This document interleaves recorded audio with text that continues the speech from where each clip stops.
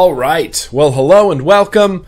Welcome and hello. Today is Thursday, which means that it is vlog day, and I've got uh, I've got just a whole mess of stuff to talk to you about. Let me get my vlog notes out right now. Um, I do have uh no, not more nickel, not more nickel. I do have one link that I want to share everybody with uh, with nickel. It's kind of interesting. We're going to be talking about fake Grimm Greens. We're going to be talking about Batteries, of course, we're going to have beer, shout outs, first impressions. Uh, unfortunately, again this week, I do not have a retro vaping segment prepared, but I do have something that I'm going to revisit, and I do have a review for things that never got review segment. Um, so yeah, let's kick this off. Let's just let's just dive right in. YouTube, YouTube is acting strange again. It's come to the point where there's people that I that that I will type a big response to and then I'll click submit, and YouTube just goes, nope, and leaves my text there. And I go, okay. So I copy it, I reload the page, I go to the comment, I click reply, I paste my submission, I click submit, and it goes, nope. So I don't know what to do. There's nothing I can do. I, there's people that I just straight up cannot reply to, and it drives me insane. Additionally, YouTube is continuously continuously marking people as spam who may not necessarily be spam. And if you're a person out there that's marking other people's comments as spam that are not spam, then you need to stop doing that. Uh, YouTube has caught all of the badass content, you know, those cl- those click links that used to happen in all the comments, like, oh, I was so skeptical of e-cigs until I clicked this link and got my free starter kit.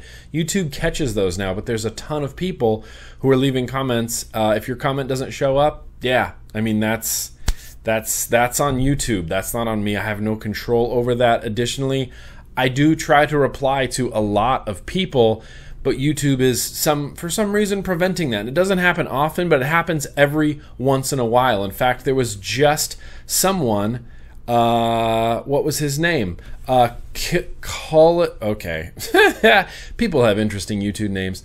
Colinator eight oh eight. Colinator 808 uh, left a comment on my video that said, Hey Grimm, what's your go to juice?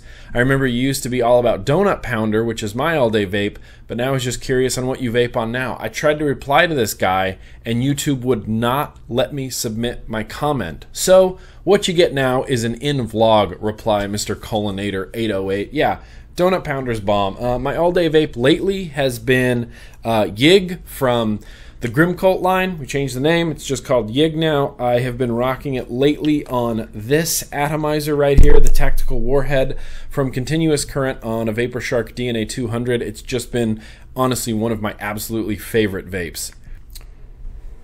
Great. Oh, God. It's great. I like that juice because it's sweet and it pairs with a lot of stuff. It pairs with a lot of beers that I drink and just it's sweet and it's not like a super overpowering, threatening flavor.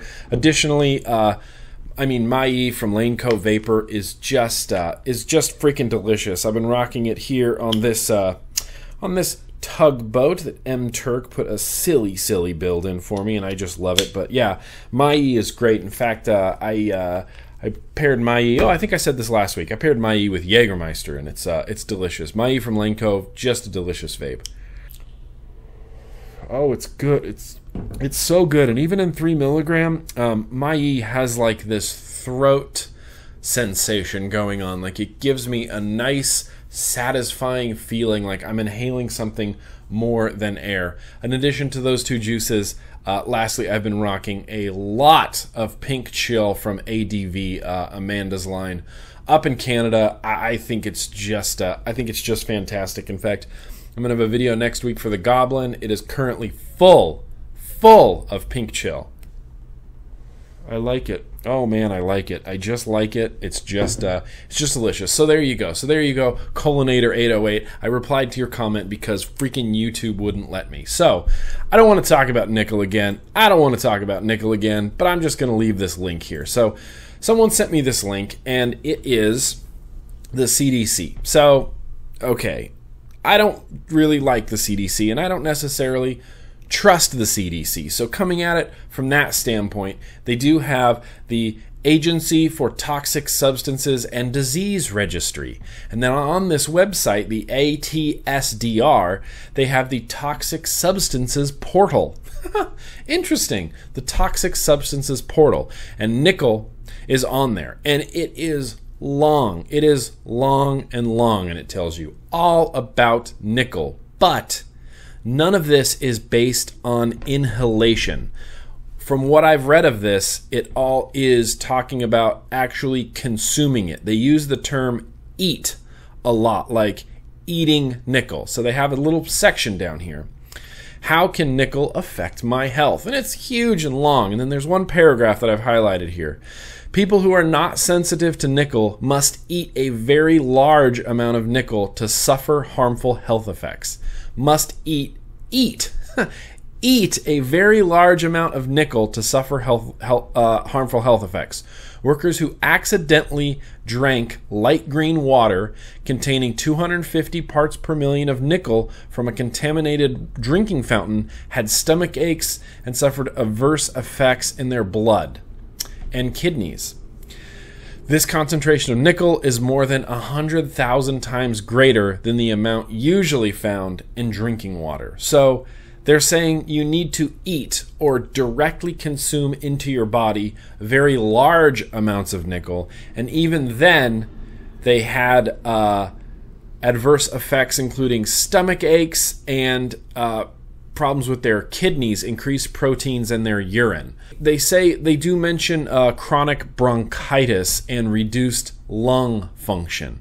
The most serious harmful health effects from exposure to nickel, such as chronic bronchitis, reduced lung function, and cancer of the lung and nasal sinuses, have occurred in people who have breathed dust containing certain nickel compounds while working in nickel refineries or nickel processing plants. Again, this is kind of like the popcorn lung thing. It's like, oh, everybody goes diacetyl crazy because it causes popcorn lung but those cases of popcorn lung were from people working around the diacetyl dust going into their lungs and causing popcorn lung. This is kind of the same thing. This is people who worked in nickel refineries and nickel processing plants, and they were inhaling nickel compounds, and that was causing chronic bronchitis, reduced lung function, and possibly cancer of the lung.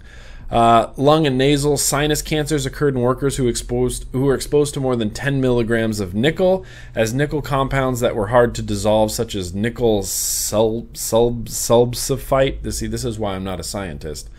Exposure to high levels of nickel compounds that dissolve easily in water, soluble, may also result in cancer when nickel compounds that are hard to dissolve, less soluble, are present, or when other chemicals that can produce cancer are present combination, the concentrations of soluble and less soluble nickel compounds that were found to have produced cancers were 100,000 times to a million times greater than the usual level of nickels in the air in the United States. So there you go. I don't know. I'm just going to leave this link here.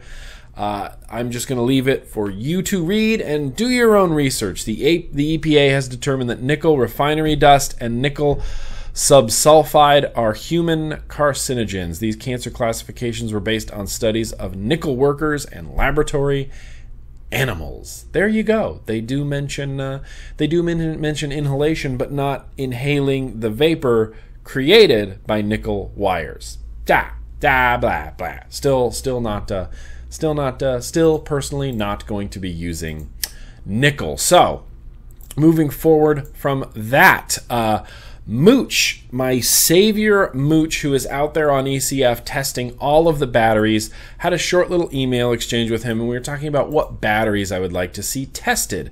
And I said, you know what? I have these. Where did they go? Where's my Brillipower? So I don't know where my Brillipower 18650 is. Oh man, I really wanted to hold that up as an example. It's that green battery. I know for sure. I know for sure it's in this mech mod. So these, these Brillipowers. Brilla power. Little green 18650, 3.7 volts, 3100 mAh or milliamp hour, 40 amps. There was a Chinese company at ECC who had a whole table full of batteries, and I was looking at the batteries and I talked to Charlie from Vapor Flask. And he's like, dude, you have to check out these batteries. In fact, I believe Vapor Shark is selling these batteries on their site. I'll try to track down a link for you, but I believe they're selling these Brilipower batteries on their site. So I was talking to Mooch and I said, I really want to see these Brilipowers tested. And he's like, I have good news for you. I actually just got done testing them. Here's the link. So he sent me the link. Disclaimer, blah, blah, blah, these conclusions, blah, blah, blah. Bottom line, bottom line on these batteries. In my opinion, this is a 15 amp continuous discharge current with a capacity lower than its rating. I recommend not using it above 20 amps as it runs at a very high temperature at those levels. At its 40 amp continuous rating, the voltage instantly plummets and the cell gets very, very hot. I have included a 40 amp pulse discharge, but haven't set the pass fail standards for the pulse testing yet head over to this link. You can read all about his testing for the Brilipower. He said at a continuous 10 amp discharge, it reached about 27 milliamp hours. Two, oh, 2,750 milliamp hours. So that means if you're rocking this and you're only using 10 amps of it, it's going to last a much longer time. At 25 amps, which is, I mean, a lot of us, myself included, definitely me included. I mean, just looking around at what I have here, I'm way over 25 amps. Um, the temperature rose to 102 degrees Celsius, exceeding the 100 Celsius safety limit. Discharges at 30 amps and 35 amps were not done, as it would have resulted in the cell temperature exceeding my 100 degrees Celsius, my 100 Celsius it's not 100 degrees Celsius. It's 100 Celsius, right? I mean, I'm not wrong about that. Uh, safety limit. Uh, a discharge at 40 amps was done to show the performance of the cell. At its 40 amp rating, the voltage dropped immediately to 3.3 volts and sank down quickly from there. So, yeah, generally, what's that rule? If it's too good to be true, it probably is. Looking at this Brilipower uh, battery at ECC and going 3100 mAh at 40 amps, that is too good to be true. And yeah, turns out it is absolutely too good, too good to be true. So thank you so much, Mooch, for doing all these uh, all these battery tests. And he's got the graphs on there, and he compares it. You know, you can see the continuous test results. Uh, the Brilipower Green 30 amp, which is this line. Oh yeah, look at that! Look at it go! Look at it go! Look at it go. And these are, uh, pardon me, these are uh, these are interesting. The most interesting thing on this graph is the 40 amp line. Uh, freshly charged battery, 40 amps. It doesn't even go out. It just goes like straight down. It's fantastic. Mooch, you're doing you're doing great work, and of course, I'll link in the description to to these uh, to these Mooch battery uh, tests that are going on. Last thing I wanted to cover. I don't have a whole lot to talk about right now. Fake Grimm Greens. Oh, fake Grimm Greens are everywhere. It doesn't affect me directly. It affects the vendors. Uh, the vendors are the ones who are getting scammed by people pretending to be me. Uh, I thought this was really interesting. Uh, Brian from Vapor Shark uh, sent me over an email, and he's like, "Hey." Uh, looks like you have an imposter out there, just a heads up. And so he shows me his inbox. The Gmail that it came from was officialgrimmgreen at gmail.com. Now that is uh, that's being resourceful. He sent this to support at vaporshark.com and he wrote, "Hey, H A Y, this is Grim space green, which I've never typed like that ever. Grim green is one word. This is Grim space green. I have a YouTube channel. I seen that n- there's not much reviews on the Vapor Flask by Vapor Shark. I was wondering if I could get one for the purpose of review. If you want to, thank you. If you want to, thank you. If so, my address is 139 Winston Avenue. And he didn't even give his full address. 139 Winston Avenue could be anywhere in the United States. I just think that's interesting. I just think that's funny. I don't know why people would go to that much effort to create officialgrimmgreen at gmail.com. And you can feel free to send some of your questions over there uh, if you want to. Officialgrimmgreen at gmail.com. Emailed Vaporflat or Vapor Shark, asked for Vapor Flask, said, Hey, I'm Grimm Green, send me a Vapor Flask. First of all, I just want to put this out there. I've never in the history of vaping directly emailed a vendor and said, Hey, this is Grimm Green. Do you want to send me something to review? I've just never done that. I've never asked for things to review. So, vendors, this is just a, you know, hey, heads up, warning. I will never approach you and ask for free stuff. If you want to approach me, we can discuss things, how it's going to work, this, that, and the other, but I will never, never approach you and ask for free stuff. That is, I mean, that is that is ridiculous. So yeah, everybody send send some emails over to uh, officialgrimmgreen at gmail.com. Unfortunately, the same thing happened to uh, same thing happened to Hcigar. And you know, China vendors they don't know any different. They just get an email from someone that says, "Hey, I'm Grimm Green. I have a YouTube." They'll look at Grimm Green YouTube and they'll be like, "Yeah, he has uh, you know 190,000 subscribers. Let's send him the new device and." It'll get on YouTube, and it won't. It will not get on YouTube. These imposters or these fucking phony fake ass people who I mean, god, it's so pathetic. It's literally pathetic. It's literally pathetic to me. That is uh Oh, good lord, that is insane. So yeah, I think that's all I actually have for my opening uh, for my opener. I do have one email that I want to get to. That's uh, it's a little bit about advocacy happening up in Canada. Yeah, so a fellow named Patrick uh, wrote to me about two weeks ago and said, uh, "I figured you might be interested in this since you're covering uh, advocacy in your blog." Uh, he writes to me and he says uh, it's been a tough year for vaping advocacy in Canada. We've seen the provinces of provinces of Nova Scotia and Ontario implement restrictions on shop owners and vapers that will threaten the survival of the industry in those provinces. In Alberta, we have seen Two of the three largest cities adopt regulations that will lump vaping in with smoking and ban vaping in all public places, including vape shops. But today we had a slight win. The first significant win for vapers in the country. The city of Edmonton, a city just shy of 1 million residents, and the provincial provincial provincial provincial I can't pronounce that. I'm an idiot. and the provincial capital introduced a bylaw amendment do exactly what the Calgary and Red Deer have done. This amendment would have lumped vaping in with smoking and banned vaping in public places. It had significant council support and appeared to be on the fast track to passage. Council had specifically refused to include any exemption for vape shops. Today, rather than being, being passed, the bylaw was sent back to administration to include an exemption for vape shops. How did this happen? A group of vape shop owners from Edmonton and surrounding areas successfully influenced this decision. The owner's president and consistent, narrowly focused, coherent message in the owners presented a consistent, narrowly focused, coherent message in hearings. Walker Young, the government relationships, the government relations helped vape shop owners to reach out directly to individual counselors and ensure that their message was heard. A united group of vape shops owners identified and focused a common goal and then they achieved this goal. There is much more to do. Alberta will likely introduce legislation to regulate vaping and Walker Young will be there along with vape shop owners from across the province. They will be working with the government proactively to achieve regulation that works for vapers, shop owners and the public at large.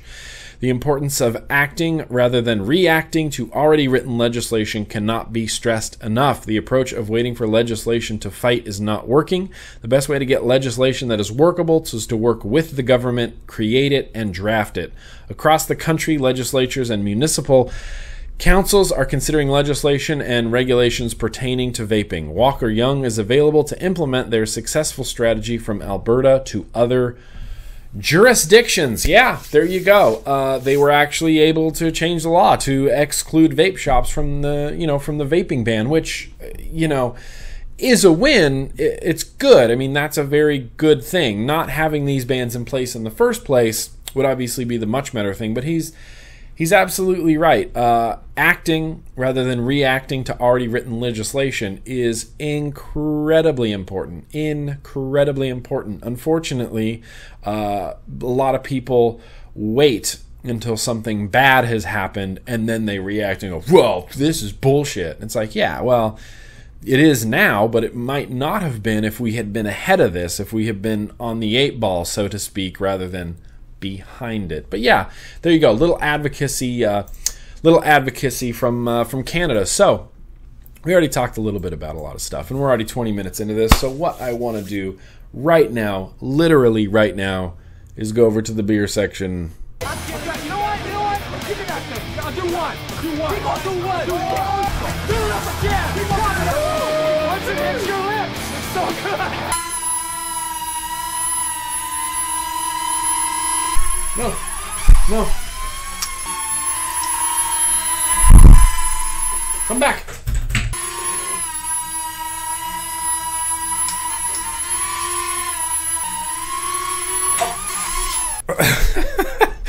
Enough of that nonsense. Let's taste some beer. Okay, so what I have for beer tonight, I'm going to try to keep this a little bit short as the hour and a half long vlog uh, does not generally, uh, you know, impress anybody. So there's no there's no reason to go that long again. So I'm just going to talk about this beer. We're going to drink it. We're going to uh, give a quick shout out to the fella that sent it to me. Sent it to me. He's been taking care of me as far as beer goes for over a year now, I believe. But this came to me uh, via my good buddy, Mr. Tactical Warmouse. He sent me some beer from uh, from Michigan that we don't generally get down here on the uh, on the southern west coast. In fact, I have never ever, not even at Bevmo, not even at any of the craft beer places down here, seen anything from Founders. But tonight I'm going to be drinking the Founders Black Rye. So this is a dry hopped dark ale brewed with rye, and I've never had a a rye ale like that. And if you go to the founder's site, they have a whole big sort of spiel on it. Thankfully, it's only got a 7.5% alcohol by volume rating, which means I'm not going to have to get schmammered tonight for your entertainment. But they describe the black rye. It says, We've reached into the vault and pulled out a cult classic from years ago. Before black IPAs were all the rage, we made a dry hopped dark ale with copious amounts of rye malt. Black rye is the perfect balance of German and American grown hops, premium two row barley, and heavily kindled rye with heavily kilned, not kindled, kilned rye with wheat malts. Uh, as, as with many of our offerings, there's no style or category that can contain this beer. It is an original. So yeah, I'm really excited to try this. You know, I really like I really like the founder stuff. I've had the Kentucky uh, you know, the breakfast stout. I just had a bottle of the curmudgeon earlier because it's cheat day and that's ooh, that's when I drink beer. So I've had the curmudgeon a little bit earlier today. Over on Beer Advocate, they they have the Founders Black Rye rated at a 90%, a 90 and a 91. So I get the feeling that it's going to be good, although I don't always 100% agree with the beeradvocate.com, you know, ratings. Uh, for the most part, they're they're generally uh, they're generally spot on. So I don't really even know what I'm expecting from this. Thankfully, I know I'm expecting that it's not a cork. Thank you, Mr. Tactical War Mouse, for for keeping my cork fear uh, my cork fear in your mind when you're sending me beers, although I don't know if you really had a choice, but I still appreciate it. Founders Black Rye, I'm going to be pouring this into a slightly already used tulip style glass right over the keyboard. I'm expecting a super dark beer. Uh, I'm going to try to get some head on here, even with an aggressive pour, man. That head is uh, that head's not really anything special. Just a slightly little tan head there. Now this is a dark beer. I can hold it right up to the light.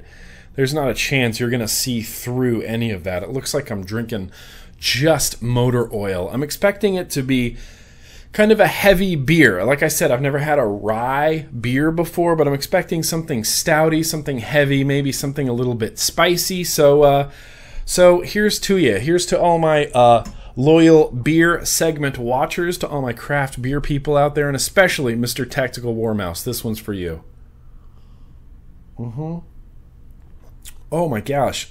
It's like uh it's uh it's tangy. I'm I'm tasting it in places I never thought I would taste it. So uh, you know, on your tongue you really only taste uh sour, sweet, salty, and bitter. And right in the back, like on the very back side of your throat, like if your tongue is here on the back, like back here, it tastes, it has like a very pungent, uh, not, it's not bitter, but it's like, uh, this is going to sound just terrible, but have you ever accidentally, you know, quote unquote, accidentally licked like antiperspirant?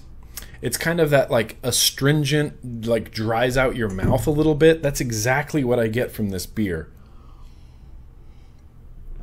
It smells super hoppy. It has like a like definitely has like a rye bread sort of flavor to it.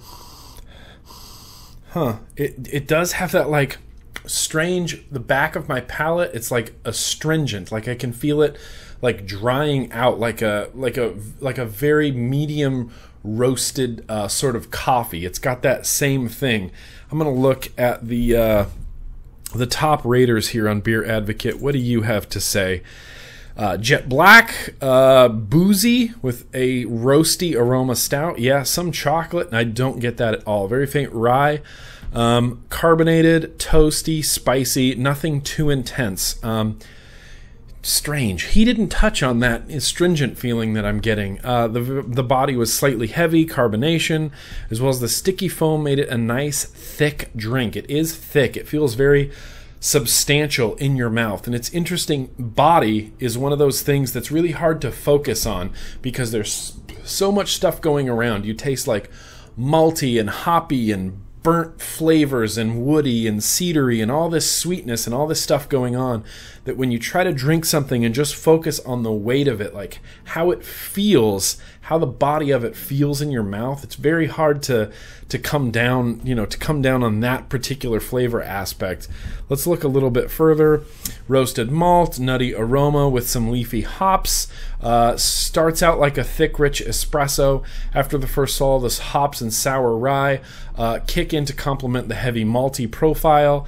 This is a very unique beer. This is a little bit out of my wheelhouse. I mean, it is a stout, but I've never had a rye before, so I have really nothing, you know, nothing to compare it to. But you know what? It's here. I'm going to drink it. I'm not sure I would super recommend this. There's so much stuff from Founders that's really good. The curmudgeon I just had is great. The KBS is great. There's so much there's so much good Founders beer. All you East Coasty Michigan people are lucky to have this in your area cuz like I said, we don't get it down here, but uh, I don't have anything that I can pair with this currently. I wonder I wonder how Horror of Yig. Sorry, it's not called Horror of Yig anymore. We changed the name. It's not called Horror of Yig. It's just called Yig. I wonder how Yig would hold up. Um, I've been rocking Yig in my continuous current tactical warhead uh, RDA.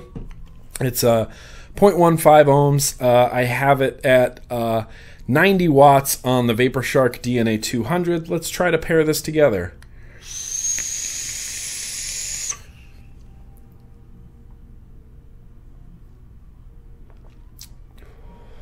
Eh, it's okay. It's not the best pairing I've ever done. The oatmeally uh, flavor in the yig kind of does bring out that like rye flavor in this. Um, there's a couple juices that I have that are like my go-to beer juices. It used to be Grim Army Tobacco.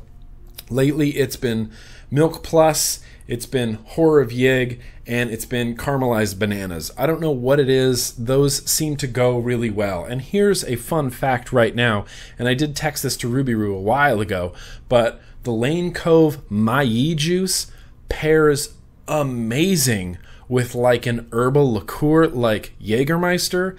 The other night I had the other cheat day. I had Jägermeister and Mai, and it was just, it was a beautiful pairing. If you're into either of those, I highly suggest pairing them up.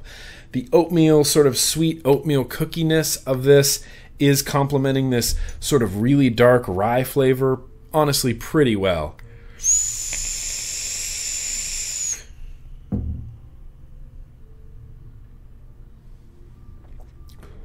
It's good. It's good. It's good. So, uh, that's what I got for the beer segment. I'm going to take my Yig. I'm going to take my Black Rye. I'm going to head back out to the living room. I'm going to watch some uh, Sons of Anarchy, see what SAMCRO is up to. But that's what I got for beer section. Once again, thank you to my very loyal, very, very loyal craft beer people that do watch this segment and don't skip over it. I might do a giveaway just for you, just for you crazy beer people. Generally, after this, what's up next is shoutouts. It is shout out time. All right, well, let's do some shout outs real quick before we get to the shout outs. I did want to say uh, VPX, VPX New Orleans. I am going to be there I am overjoyed. I was on the fence. I didn't know if I really wanted to travel more. Uh, it's happening the weekend before I go to Ireland. So I'm literally going to fly to New Orleans for VPX. I'm going to be at that event. I'm going to fly home. I'll be home for one day, and then the very next day, I'm flying to Ireland. So, yeah, kind of a busy travel schedule, but I've never been to New Orleans and I, I want to go. And VPX in Niagara Falls earlier this year, back in April, was probably easily one of my favorite events of the year. It could have been my favorite event of the year. I had. I had a great, great time there. Um, it was it was just a fantastic time, and I'm hoping that uh, I'm hoping that VPX in New Orleans is going to be just as good. I'm hoping that it's going to be uh, hoping that it's going to be really really fun. I'm going to try to find a link here and we'll post it in the description. Yeah, so it's going to be at the New Orleans Memorial New Orleans Memorial? Is that a typo? Is that a typo, ECC? Is that a typo? That looks like a typo. No, Memorial. I don't know what that means then. November 6th, 7th, and 8th, 2015, New Orleans Memorial Convention. Center, yeah, it's going to be there. ECC presents VPX. The Vapors exhibit is a collaborative vapor product industry convention between ECC, the world's leading brand in vapor product trade shows and expos, and the Vapors exhibit, a national trade show company with four events under its belt in Ontario, Las Vegas, Austin. Okay, yeah, anyway, it goes on and on. But yeah, dude, New Orleans. Dude, dude, it's to be so fun. I'm stoked. I'm stoked. I'm stoked to go to New Orleans, and uh, I'm also very, very stoked to go to Ireland. So yeah, let's get on to uh, let's get on to some shout outs. I want to give a shout out to Martin. So Martin emails me.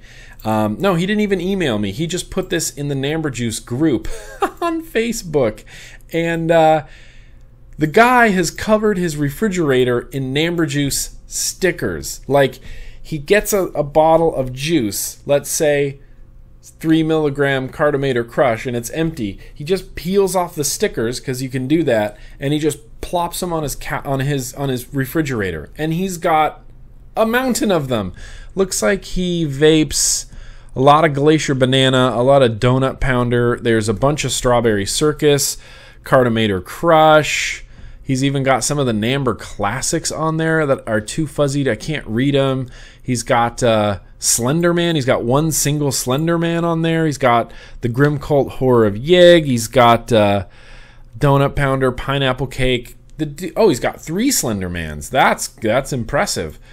It's just funny. I just thought that was so hilarious. So yeah, absolutely. Shout out to you, uh, Martin, for saving the Namber Juice and Epiclouds and Grim Cult labels and uh, covering your freaking fridge with them. That is so. That it just makes me. That just makes me so effing happy. Uh, I do want to give a shout out to a fella named Sean. So Sean emailed me, and uh, he's like, "Hey, I have an idea. Okay, I have an idea for a new YouTube."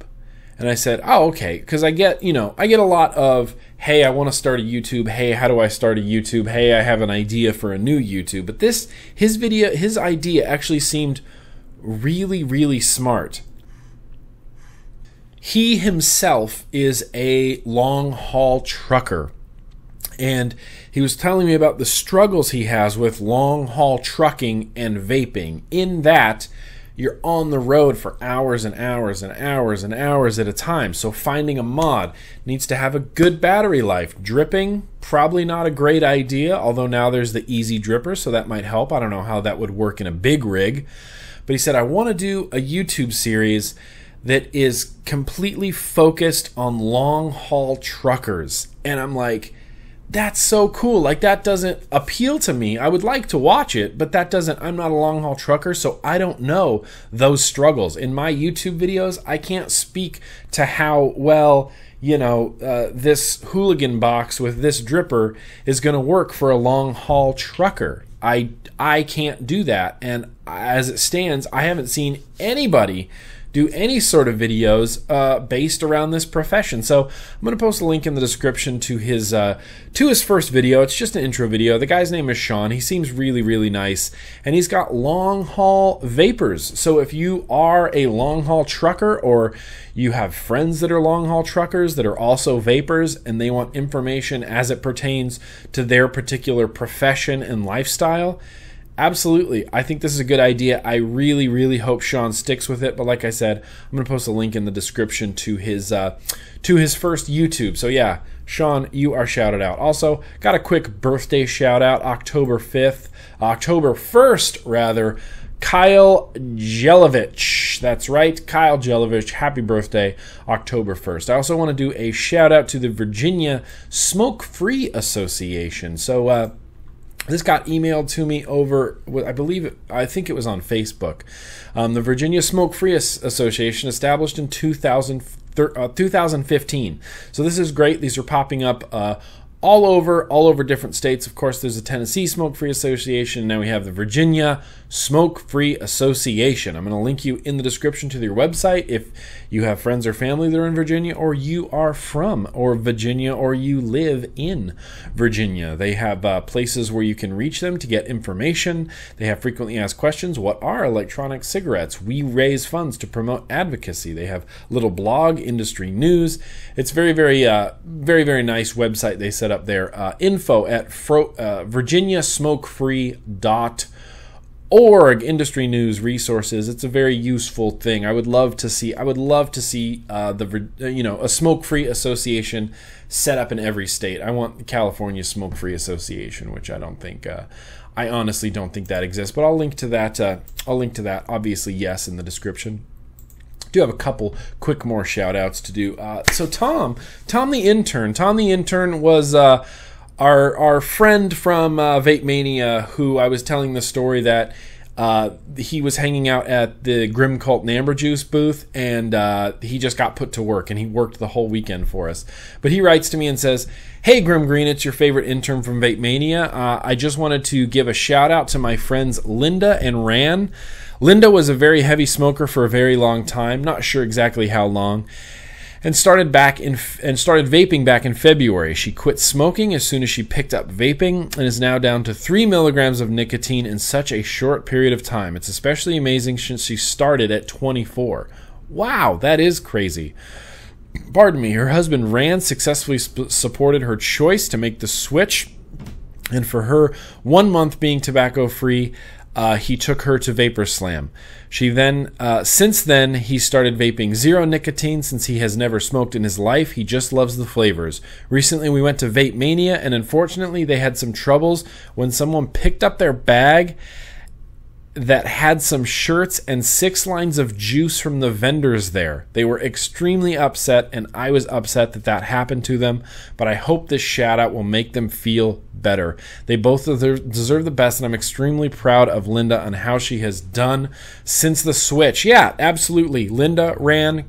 Consider yourself shouted out. Tom the intern, you were also shouted as well. Someone picked up their bag. That is God, that makes me mad. If you're at a vape meet, if you're going to VPX in New Orleans, you have a backpack, keep an eye on it. I keep uh, at vape meets, I always have to bring a backpack, and it never leaves my side. I have it on my back, or with me, or in a chair next to me, and it just never leaves my sight. If Namber Juice is there, like if we have a table there, I keep my backpack back behind the table so nobody can get to it, but this seems to be a fucking thing. There's scumbags and lowlifes that go to vape events and will steal an, a couple's bag for some t-shirts and some juice, and that just sticks in my craw so hard. But absolutely, I hope you got some stuff back. I hope you got some more juice, and uh, obviously, yes, consider yourselves absolutely shouted out. So one last shout out. How are we on time? Ah, we seem to be doing okay on time. One last shout out I want to do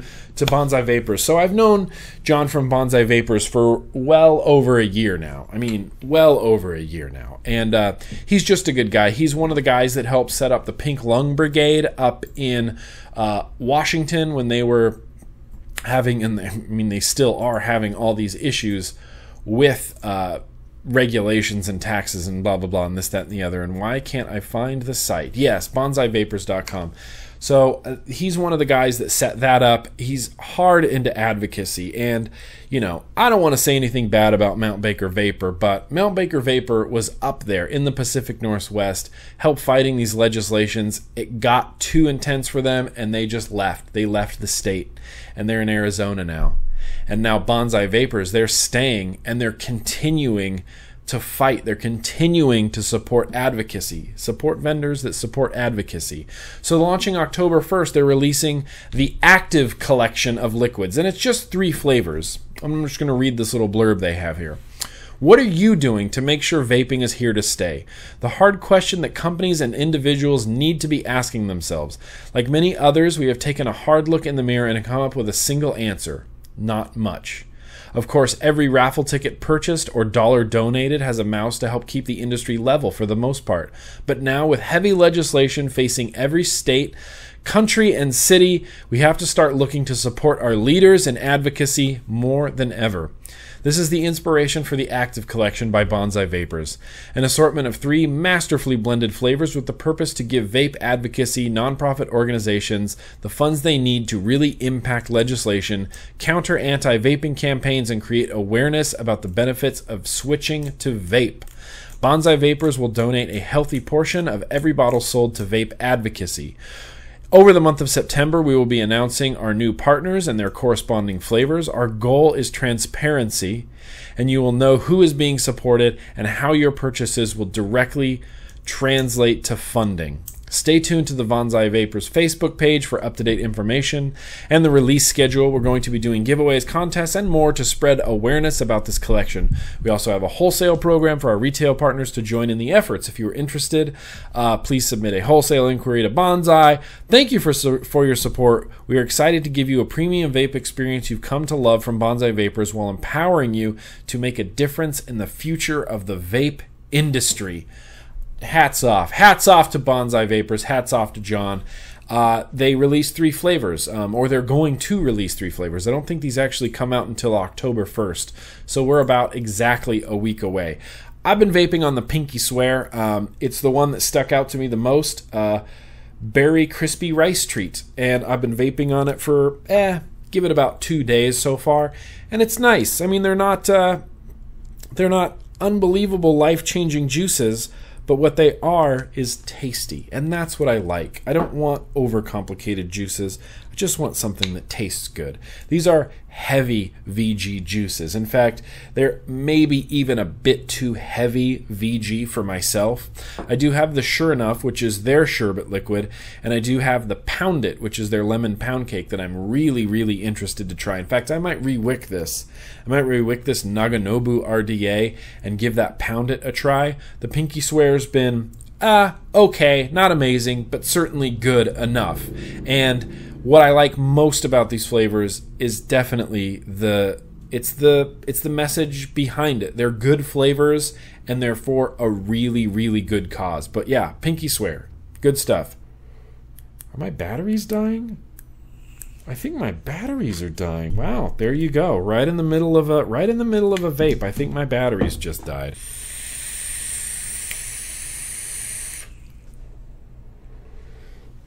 It's good. It's good. It's good juices and it's a good cause. So shout out to Banzai Vapors. Obviously, I'll post a link in the description to where you can check these out if you're so interested. They don't come out for about uh, for about another week now. Um, one last, one last, one last shout out. Uh, there was one person that I promised a shout out. There was one person I promised, I promised, promised this person a shout out, and I didn't get to it yet.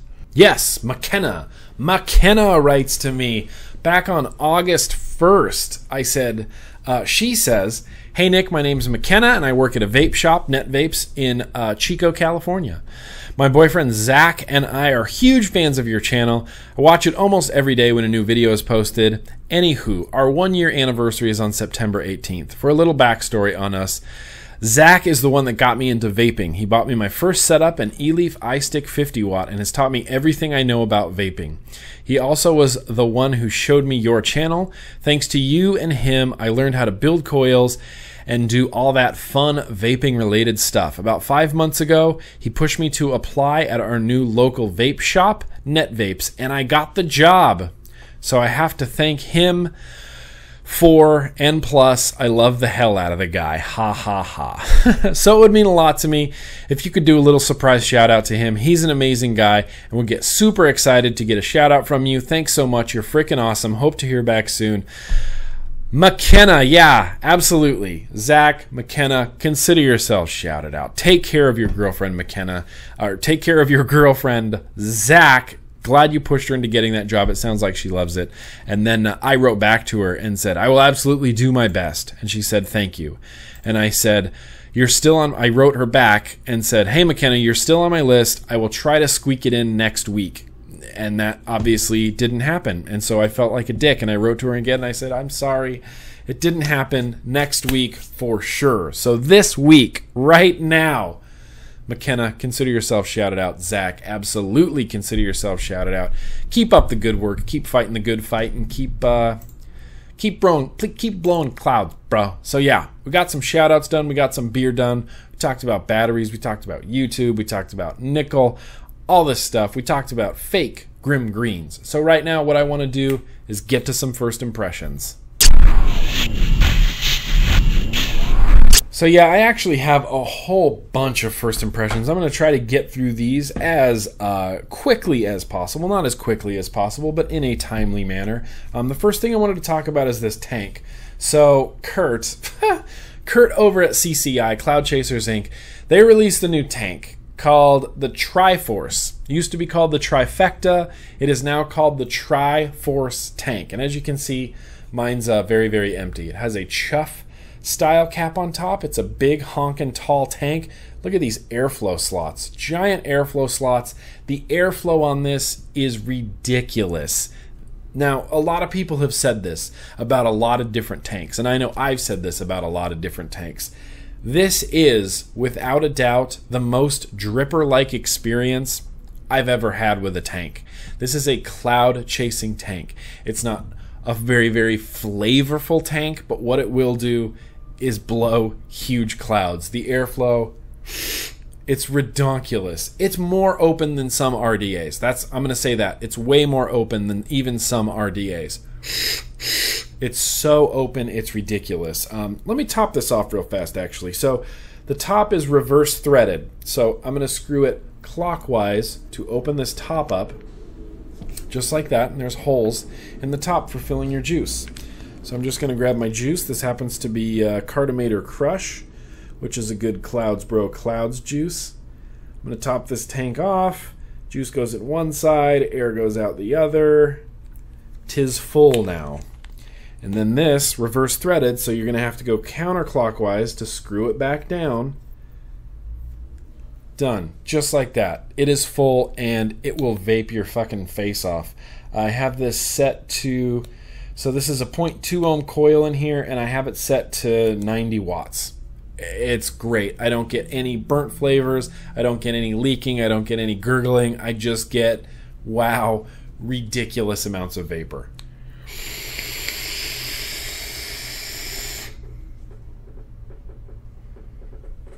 It's a cloud chasing tank. That's what it's for. That's what CCI does. That's what Cloud Chasers Inc. does. That's what it means. They chase clouds. That's like their thing. They're not all about like flavor tanks or flavor atomizers or even, you know, other atomizers with small airflow. They want huge clouds, huge airflow. That's exactly what this tank is doing. It's exactly what this tank is doing.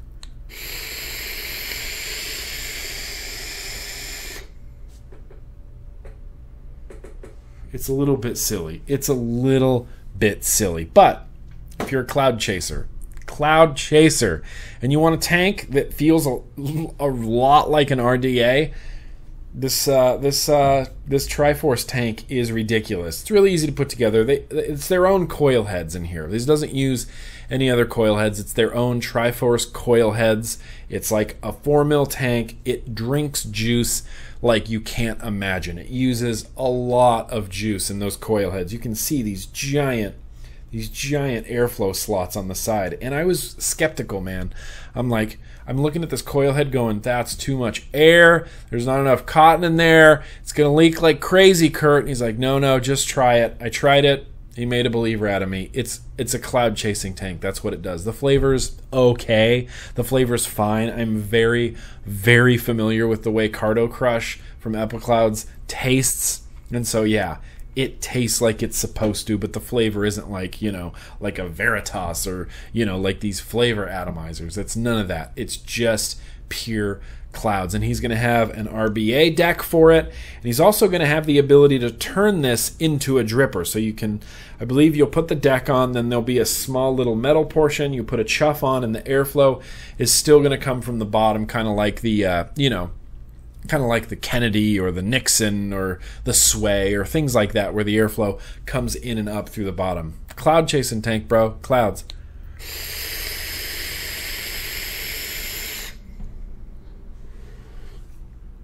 I'd be interested to see a little how much higher wattage I can go. So Kurt was saying, "Oh yeah, he's like I've got guys rocking these at 150 watts, at a 200 watts." And I'm like, "Really? That's I mean, that's excessive." So let's go to it landed on 111 watts. Let's round this up to 112 watts. 112 watts, 0.2 ohm coil. Let's see how it goes.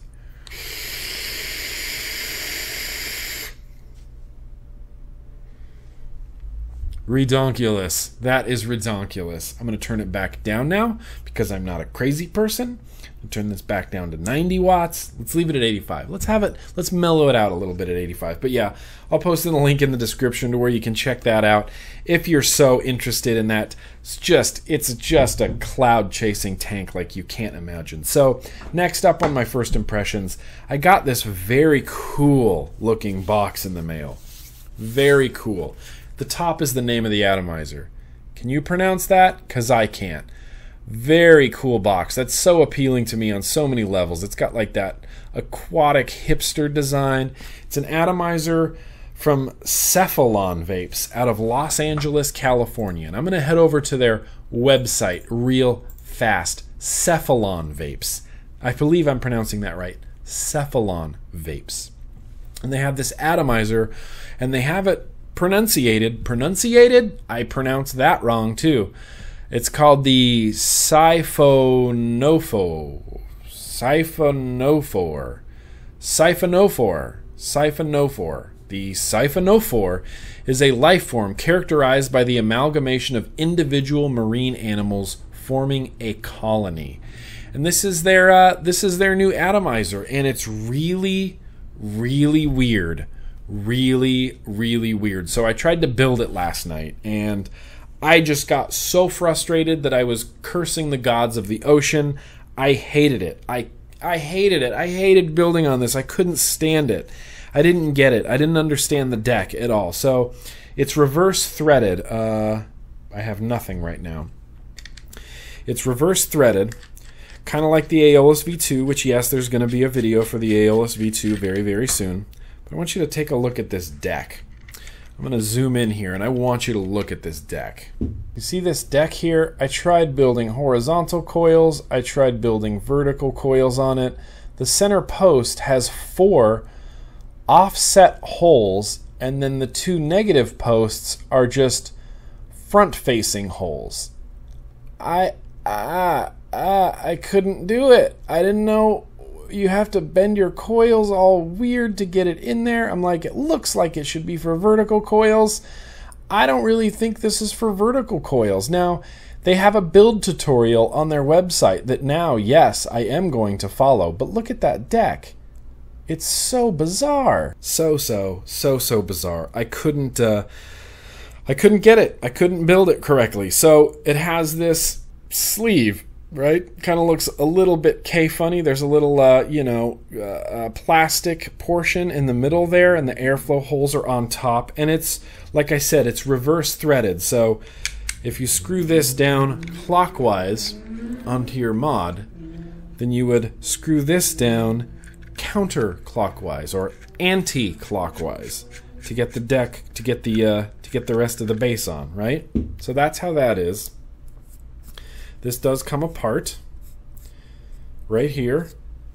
You can see that's the deck and the juice well now. And then there's this that fits over that. And this is going to be, it's going to act like a tank, kind of. Not like a Genesis, but like a big juice reservoir. And then your airflow, it comes from these four slots. And those are from those go down and then there's holes on the inner chimney. Now this inner chimney is tiny. You're not putting any fancy builds in here. This gets screwed in normal, clockwise, just like that. So now looking at it through the through the clear part, I can see the holes. The holes line up with the slots, and then through the slots, all you see are heat sink fins. And I'm like, how is the airflow going to work on this? Like this is blowing my mind. It's got a very nice, smooth, whooshy airflow, which this is what made me want to build on it so much last night.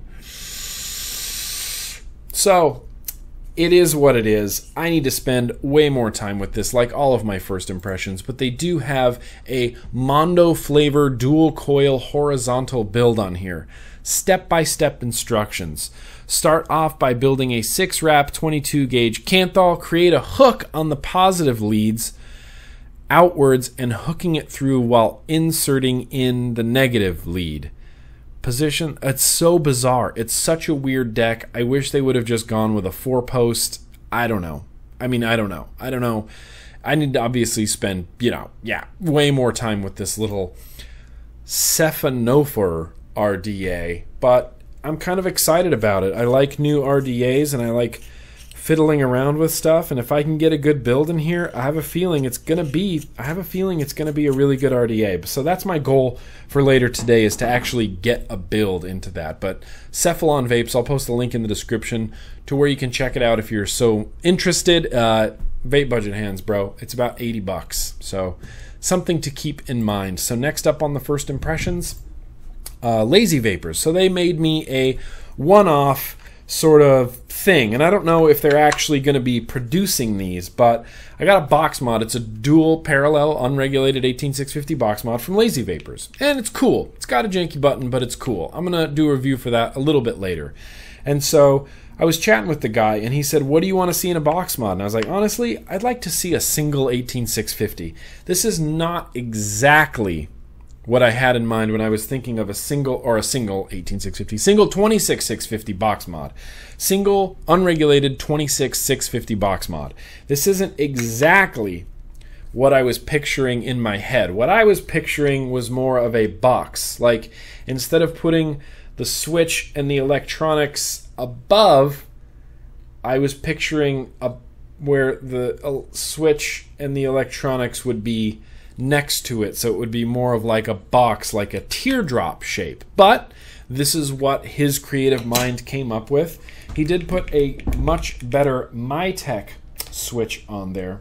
So I'm going to grab a, see an MXJO 26650 fits in there uh, fits in there really nice. I'm going to put that over there. I'm going to grab this uh, Nobunaga Mini.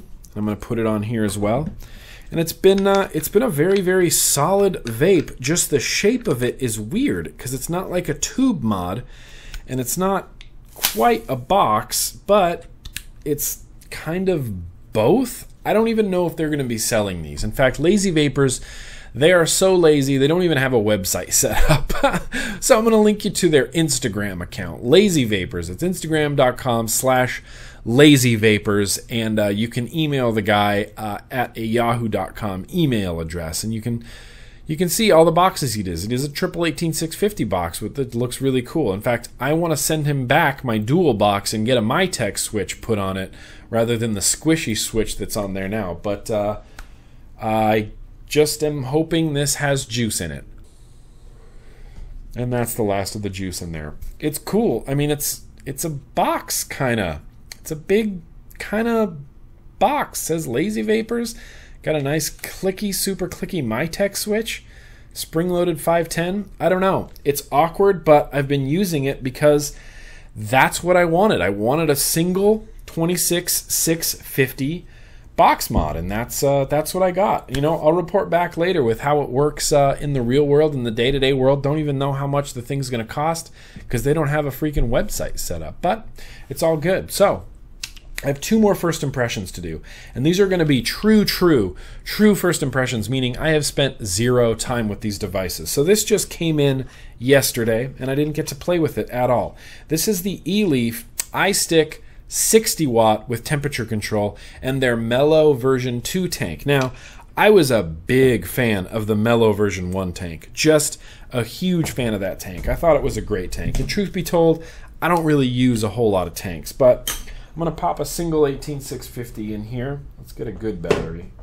Let's get a Samsung battery in here. Positive up, negative down. Does it come to life? It has come to life. Magnetize this back on. Sort of rounded shaped to fit into your hand. It's a very nice looking device. It's a very nice size. So now what I'm going to do, and I know that this does, yeah, it does just regular wattage as well. I know it does just regular wattage as well. I have a titanium coil head in here. So, okay, I get it. Titanium, it could be dangerous. Nickel could be dangerous, but it's a TC mod. So I have to test the temperature control of it. Now, the Melo is great. This big slot on here for filling, you just put your juice bottle in there and you fill it up. I'm filling this up with uh, Dragon Mouth Vapors Monkey Chimp's Juice. Chimps? Chimp's Juice? Monkey Juice? Chimp's Juice. I think it's Chimp's Juice. Uh, it's just a good juice from them that I actually really, really like. So I'm going to fill this up all the way. Oh man, you can get this tank so full. It's just fantastic. And then you close it off just like that. And now nothing in the way. It's all closed off and you have a full tank. Now, I'm going to open up this airflow. The airflow not great. It just kind of spins around, but I'm going to open up this airflow all the way when I vape it, but right now I'm going to close it down do a couple of those numbers, get the uh, get the bubbles happening, get those coils wet in there. Dude, this thing is so wonky. So the way it's set up is there's a fire button up here, then there's an up down sort of toggle button right here, and then there's another smaller button. You can't see it because it's black on black right down there at the bottom. On all iStick devices, on the iStick 40 watt temperature control, you press that button to switch back and forth between wattage and temperature control mode. But this one, I'm pressing this button to switch back and forth so I can adjust my watts. Okay, now we're adjusting my watts. So if I have a 0.5 ohm coil, what wattage do I want to be rocking that at? Say uh, 52 watts. So I'm going to try to switch this back to titanium now because I know that. Come on, man. Okay, now it's on nickel.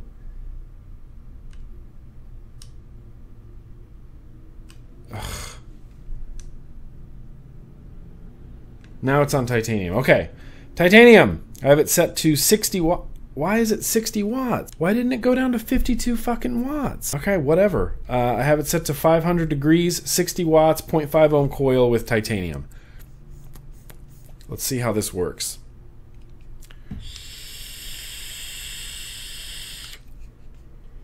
Ah, not bad. That's honestly not very bad. That's that's actually a really good vape. I can feel it. Uh, I can feel it start strong and then drop way off, just way off right away. Let me up the temperature on here. Let me turn this to 540 degrees.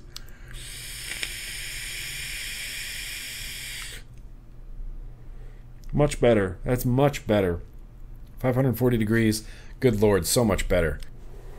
You know what it's doing is it's pulsing. So it goes it fires and then it completely drops off to no wattage and then it goes after that.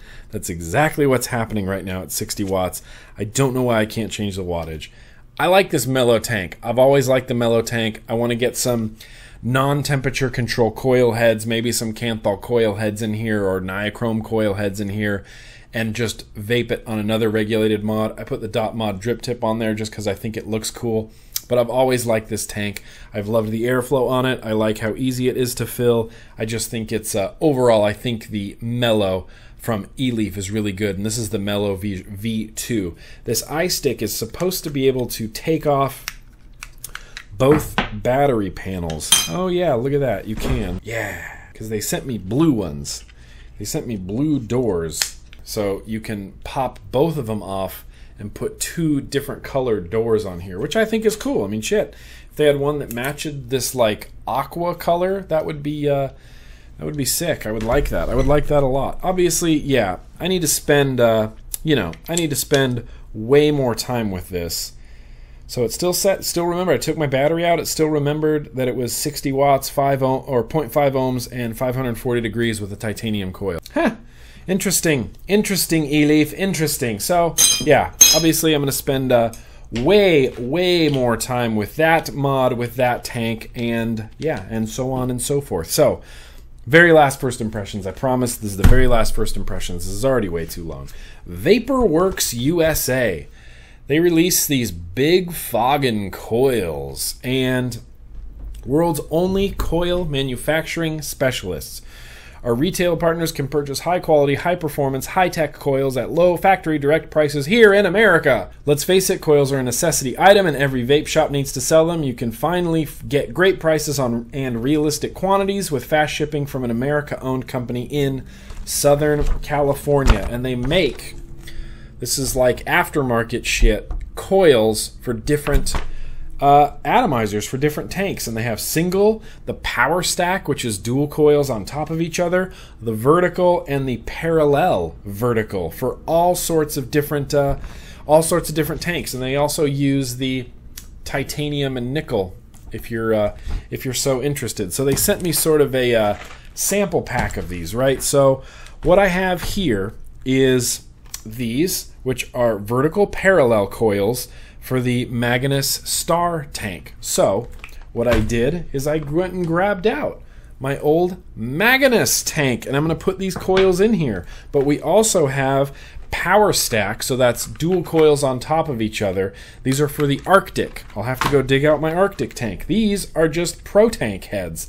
These are Kanger single coil vertical replacement heads for the Pro Tank. These are for the sub tank. These are single coil vertical for the sub tank. These are the power stack dual horizontal replacement coils for the Hercules. The Hercules! Remember the Hercules? They're even branded Heracles. I know it's pronounced Heracles. And then these are uh, Aspire, Atlantis, version 2, and Triton. I wonder if these would work in the Melo. Because they have E-Leaf on them. It says E-Leaf, but they don't mention the Melo on it. I'd be interested to see. I'd be interested to see. Um, all the boxes are branded with the original manufacturers, you know what I mean? Aspire, E-Leaf, Heracles, Kanger, Kanger, and Arctic on there. So I'm interested. I'm interested in that. I'm not a big tank user, but sure, I'd like to try this out. So I'm going to open up this uh, Magnus tank, which I always had very fond uh, very fond memories of using this tank. These are the vertical parallel coils, and it says they're 0. No, doesn't say what resistance they are. Oh, 1.2 ohms. Oh man, I wish I had read that. These are 0.3, 1.8, 0.5, 0.3, and 0.2. All right, well, fine. Then they're 1.5 ohm tanks. So what I'm to do... Oh, shit! Sorry, I have another first impression. I totally forgot I have another first impression to do after this, and it's something that I promised on Instagram that I would talk about. So, you know what? This first impression segment just got a little bit longer. Magnus, coil head. Going in the coil head base right there.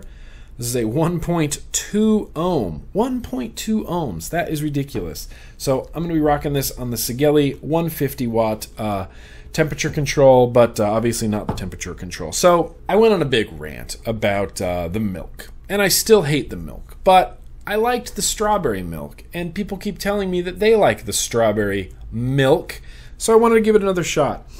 So I'm gonna throw it. Uh, I'm gonna throw it in this coil head. So I'm just gonna put some juice on top of this coil head, just because I don't trust it. I don't trust you, coil head. I'm to put a couple drops of juice in there, and then I'm to fill up this tank with my strawberry milk. Got a mostly full tank there. Just to screw this together. I'm to give it a few dry puffs just to get the juice kind of flowing maybe ah, where it needs to go, where it needs to be. All right, I got this 1.2 ohm coil head at a whopping 24 watts. It's giving me five and a half volts I'm hoping that it's all saturated in there. I threw a dot mod drip tip on top. Let's see how it vapes.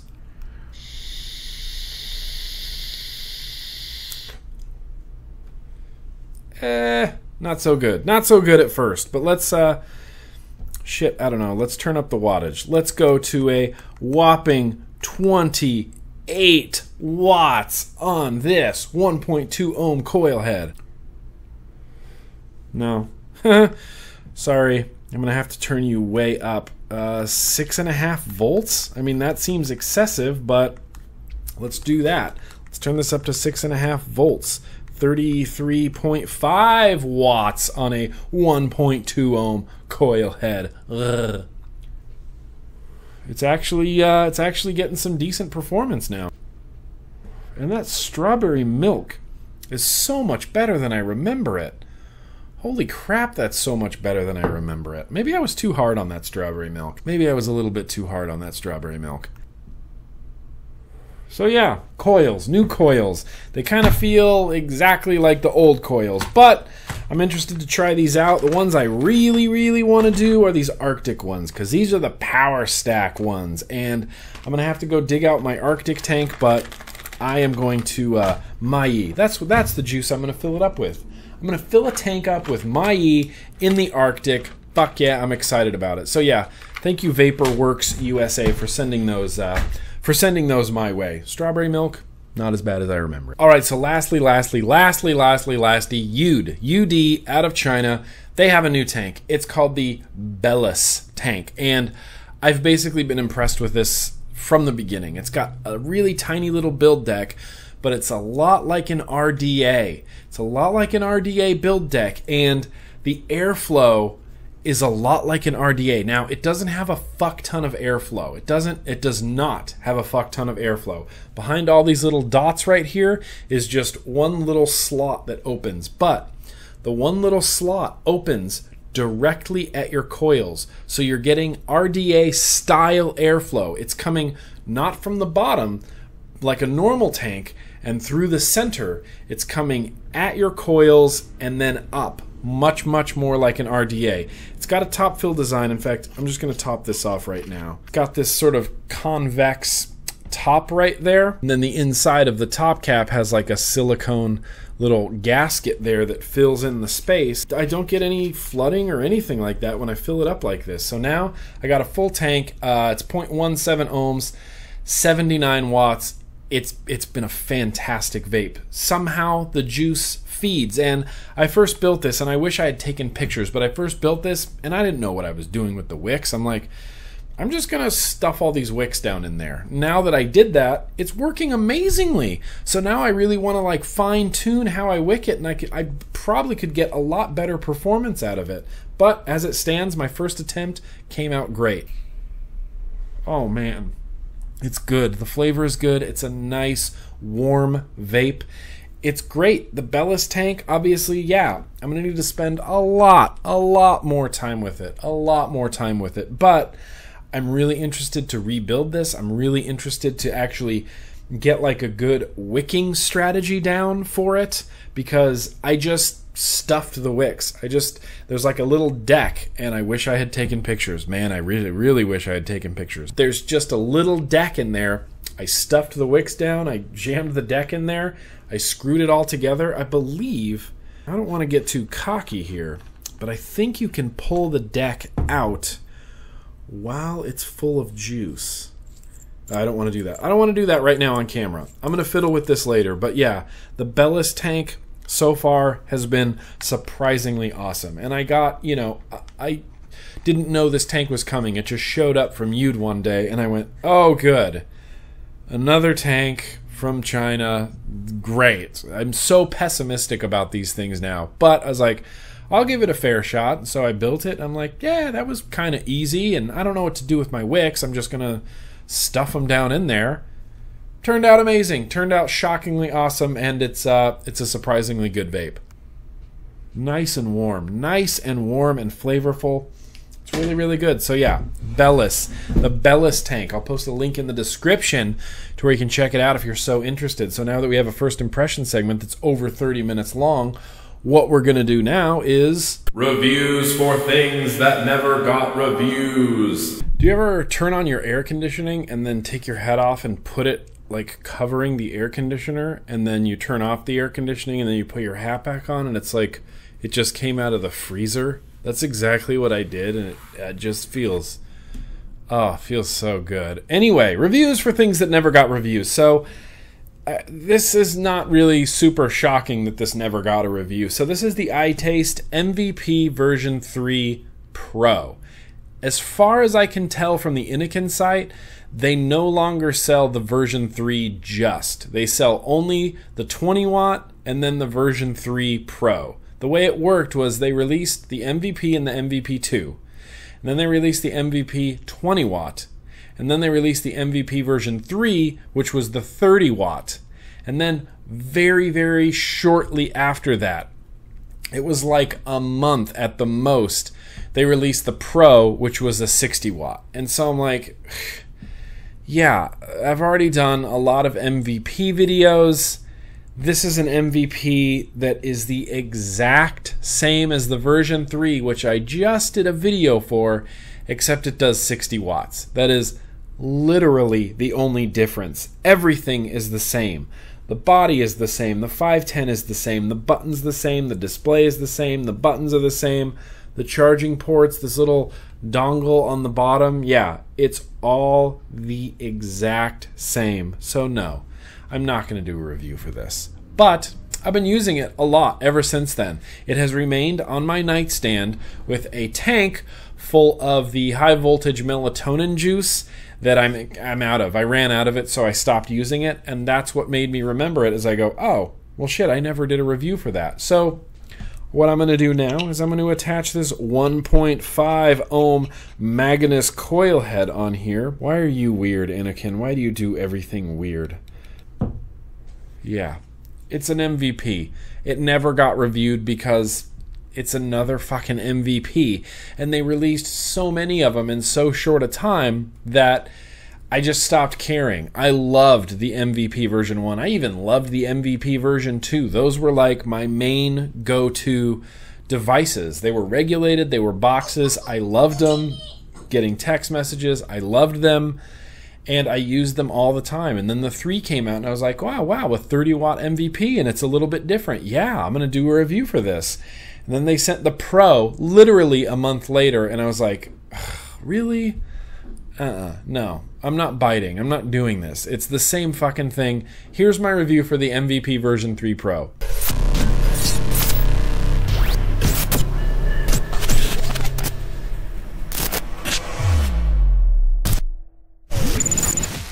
It's the exact same thing as the iTaste MVP version 3, except instead of only doing 30 watts, this does 60 watts.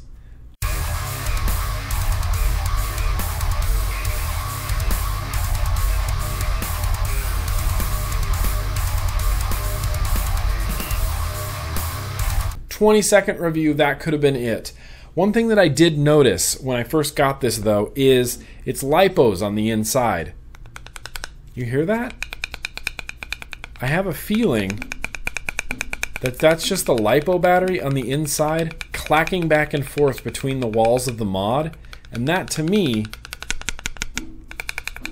seems very, very dangerous. I don't know if something just fell or it was held in place by small sticky foam pads or something, but when I first got it, I took it out of the box and I was like, MVP should not rattle. It should not rattle at all. And I have a feeling that's just the lipo going and getting stuck in between. Anyway, they ended up sending me like five of these. I ended up giving them all away. I kept the silver one by my nightstand and I use it very rarely. In fact, after this, eh, you know what? Fuck it. It's going to go back on my nightstand and I'm going to use it for nighttime vaping because I like to have a device with a big, good battery and a nice tank right by my nightstand, right there, so that I can lay in bed and play with my iPhone and use my iPad and vape and not worry about having, you know, like a mech mod or a series box that I have to drip on this, that, and the other.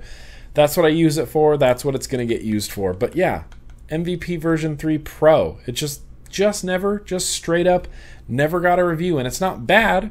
Meh, just never got a review. But it's not bad, like I said.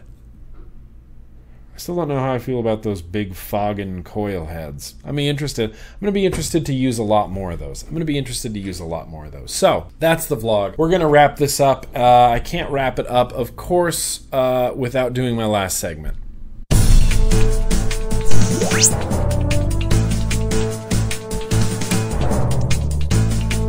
All right, my favorite comment of the week. Now this uh this seemed pretty popular. This could be my new most popular segment in the vlog video, but uh, I appreciate everybody trying to, uh, eh, maybe trying. I noticed some people were really trying to get into that comment of the week.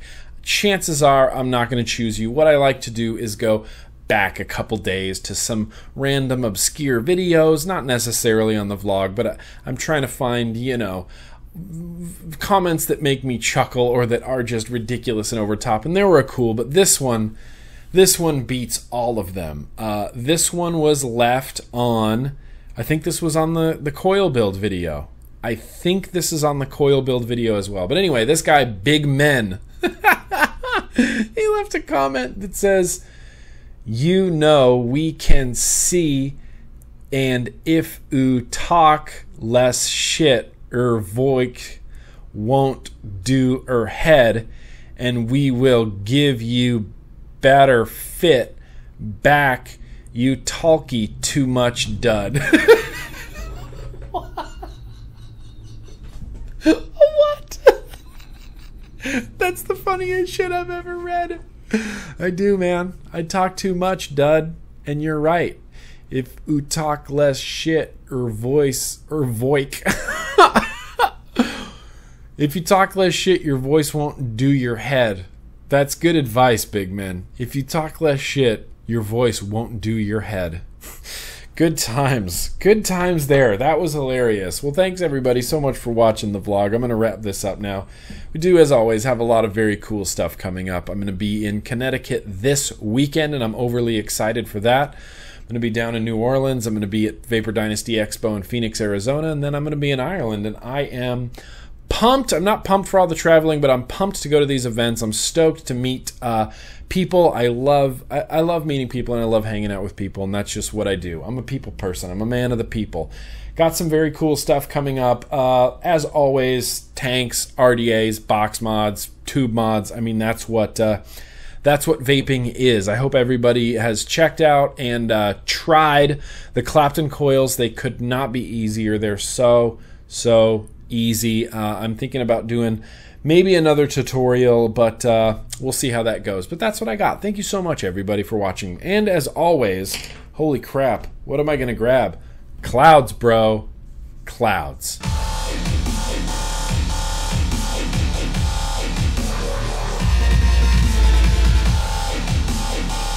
Let's keep on vaping.